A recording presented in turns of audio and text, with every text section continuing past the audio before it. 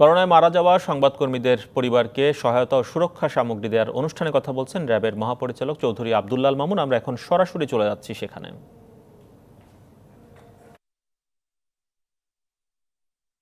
হস্তান্তর করা হবে।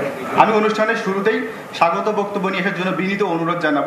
Lieutenant colonel Sarwar bin Kashem, BPM, PSC, AC director, legal এবং মিডিয়া উইং। ধন্যবাদ, sir.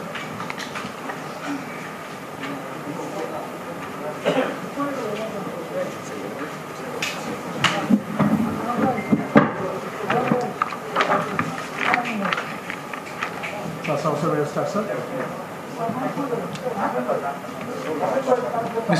Rahim.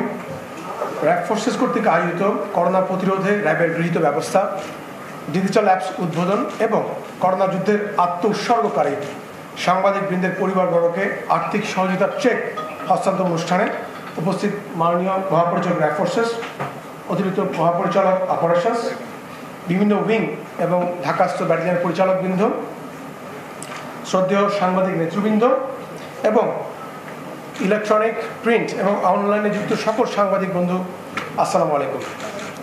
প্রথমেই ধন্যবাদ জানাতে চাই আপনাদের এই আমাদের মিডিয়া সেটে উপস্থিত হওয়ার জন্য। মহামারী করোনার ফলে সমগ্র বিশ্ব কিন্তু আজ বিপর্যস্ত এবং সারা বিশ্ব একত্রিত হয়ে আমরা চেষ্টা করছি এই করোনার বিরুদ্ধে যুদ্ধ করবার জন্য। এবং আক্রান্তদের সেবা দিকে এই পর্যন্ত প্রচুর পরিমাণ ফ্রন্ট লাইনার্স কিন্তু তাদের জীবন উৎসর্গ করেছে। বাংলাদেশ, আমরাও কিন্তু এর ব্যতিক্রম নই। আমরাও চেষ্টা করে যাচ্ছি সারা দিন এবং সর্ব শক্তি দিয়ে এর বিরুদ্ধে যুদ্ধ করবার জন্য। যেহেতু কোভিড উনিশ নামক এই ভাইরাসের এখন পর্যন্ত কোনো কোনো ওষুধ আমরা আবিষ্কার করতে পারিনি। তাই এই ভাইরাসের সংক্রমণ ততটাই কত- কমানো যাবে যতটা আমরা একে অপরকে সহযোগিতা করব এবং আমরা এই সামাজিক, আমাদের যে যোগাযোগ মাধ্যমকে আমরা সামনে রেখে তাদেরকে আরও বেশি উৎসাহিত করতে পারব যেন বাইরে না আসার জন্য। এবং এটাই আমাদের প্রধান উদ্দেশ্য। করোনা ভাইরাসের এই সংক্রমণ রোধে মাননীয় প্রধানমন্ত্রী কর্তৃক ঘোষিত একত্রিশ দফার নির্দেশনা বাস্তবায়নের জন্য আমরা প্রথম থেকে কিন্তু একযোগে কাজ করে যাচ্ছি। দেশের করোনা প্রাদুর্ভাব শুরু হওয়ার পর থেকে সামাজিক দূরত্ব এবং লকডাউন নিশ্চিত করার জন্য আমাদের নিয়মিত কার্যক্রম আমরা অব্যাহত রেখেছি। আমরা এই পর্যন্ত দেশের সর্বত্র সর্ব জায়গায় আমরা কিন্তু প্রচুর লিফলেট আমরা প্রচারণা চালিয়েছি। এবং আমাদের যে টহলগুলো দিয়েছি, সেই টহলগুলোর মাধ্যমে আমরা কিন্তু নিয়মিত মাইকিং করে মানুষকে সচেতন করার চেষ্টা করেছি।